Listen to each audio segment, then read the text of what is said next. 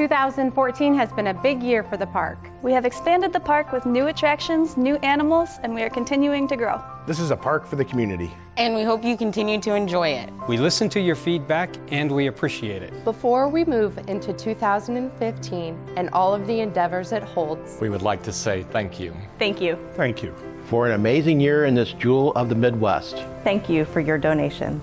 Thank you for your support. Thank you for your gifts. Thank you for your membership. Thank you for learning. Thank you for visiting. In the warmest summer days. To the coolest winter afternoons. Thank you for conserving. Thank you for volunteering. Thank you for loving our animals as much as we love them. From our family to yours. Thank you. Thank you. Thank you. Thanks for everything. Happy holidays and have a happy new year.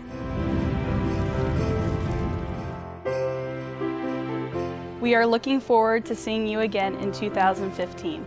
Thank you.